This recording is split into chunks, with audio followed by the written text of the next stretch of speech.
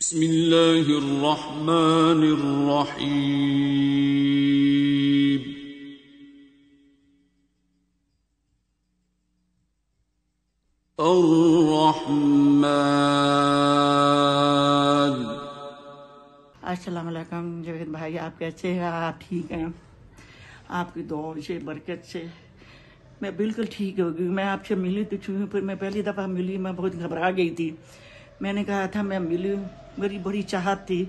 आपने मेरी बात सुनी सच्चे दिल से सुनी मुझे आपकी बात बहुत पसंद आई।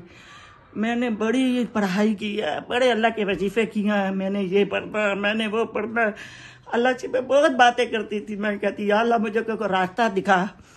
अल्लाह ने मुझे ऐसे करा मुझे कोमल आपकी जो है बेटी है उसने मुझे सारे बड़े तरी, तरीके से बताया। आंटी आप एक दफ़ा एक दफ़ा करके तो देखें।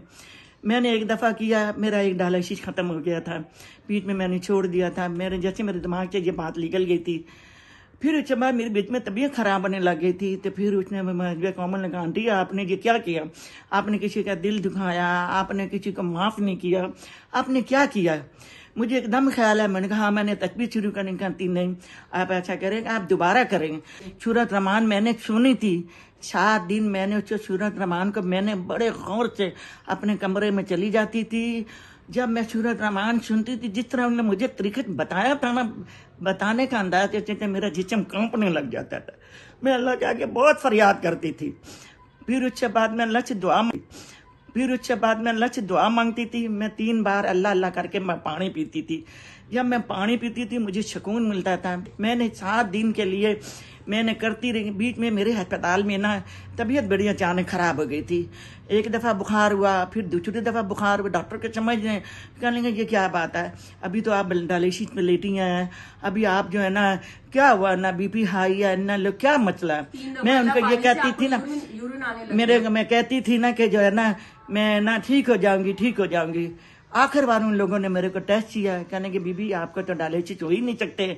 आप अपने डॉक्टर से मशवरा करें। मैंने तीन बार जो अल्लाह अल्लाह करके जब मैं पानी पीती हूँ ना मेरा इतना यूरियन आता मेरे अंदर की पूरी तेजाबियत निकल गई थी। इतनी झांकी बल्कि मैं घबरा रही थी। फिर भी मैंने बोला नहीं मुझे हाँ बताएँ नौ साल से। न, मेरे जब डायलिसिस हो रहे थे ना मेरे डायलिसिस आठ साल बढ़ गए थे। नौ साल में लग गया था।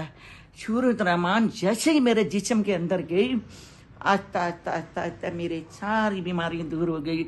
मेरा चिचरापन खत्म हो गया मेरा गुस्सा खत्म हो गया। मैं आपको बता नहीं सकता जब मैं आपकी बातें सुनती थी ना मैं आपके अंदर क्या चेंजेस आई? सिर्फ़ आपको अल्लाह ने आठ साल के डायलिसिस से शिफा दी और उसके अलावा आपकी आप पूरा का पूरा चेंज हुई। मैं बहुत बदल पूरी अंदर के समझे जो है ना कि मैं पूरी बहुत चेंज हो गई हूँ।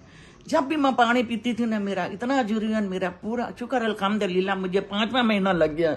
मेरे डायलिसिस नहीं होते। मैं बिल्कुल सही हो गई। मैं कराती किडनी सेंटर से। मैं उधर से कराती थी। मैं बहुत तकलीफ़ में होती थी बहुत तकलीफ़ में होती थी। पर जब से दिया आपकी मैं बल्कि आपकी वीडियो सुनती थी मुझे कोमल ने भेजी थी मैंने आपको देखा। उसके बाद मैं आपकी बड़ी बहुत सारी ऐसी बातें होती हैं जो मेरी समझ में नहीं आती। आपकी बातें चुनती थी फिर मैं कोमल से रबता करती थी। मुझे जैसे जैसे वो बच्ची मुझे बताती गई थी वो बच्ची मुझे सारा इस आंटी ये करे। मैंने सच्चे दिल से यकीन से मैं आपको बता अल्लाह पाक आपको ज़िंदगी दे आप सबको बताए सब मैंने सबको माफ़ किया है मैं लेकिन माफ़ करना आपको पता है बहुत सारे दुश्मन भी होते हैं। मैंने दिल से माफ़ किया सबको किया। मैं अल्लाह मैं सबको माफ़ करती हूँ। मुझे भी तू माफ़ कर दे। तूने मुझे जो सूरत रमान का रास्ता दिख सुनाया मैं वो सुनी मेरे अंदर और जज्बात पैदा हो गए बहुत सारे लोगों ने मुझसे सवाल किए। मेरी बरादरी वाले को यकीन नहीं आ रहा था। ये अचानक तुम्हारे डायलिसिस कैसे खत्म हो गया? कैसे कैसे? फिर मैंने आपका नाम लेती थी डॉक्टर जवेद है ये वो कहते, कौन से डॉक्टर सब पे मैंने कहा नहीं एक तो लंदन में ये बात आपने सुनी होगी ना। उनकी सूरत रहमान बहुत चली थी। पर मुझे तो वही है, मैंने उनको तो देखा देख लिया, मैं उनसे मुलाकात भी कर चुकी हूँ।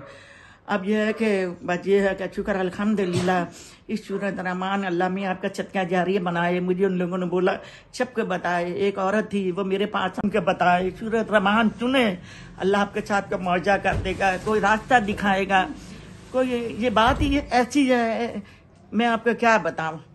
अल्लाह ने मुझे मुकम्मल शफा दी है। आपको मुकम्मल शिफा मैं बिल्कुल ठीक हूँ। अब लोग मुझे अस्पताल वाले बुला रहे हैं कि आप हमें बताएँ हमें बताएँ। किडनी सेंटर मैं कराची के किडनी सेंटर वाले आपको गवाही के लिए बुला मुझे कहा किडनी सेंटर वाले ने मुझे ये भी बोला था अब आपके डायलिसिस नहीं होते आप अपने डॉक्टर से बात करें। अब किडनी सेंटर वाले मुझसे आपने क्या किया? अब मेरी पूरी कोशिश है मैं क्या बता मैं आपका बल्कि नंबर भी दे दिया आपकी वीडियो भी उनके भेज देती हूँ। दवाई देंगी तो आप चलता फिरता मोजे जाए आपकी बात में वही असर है। इनशाला मैं कहती हूँ आप मेरे को दुआ में याद रखे।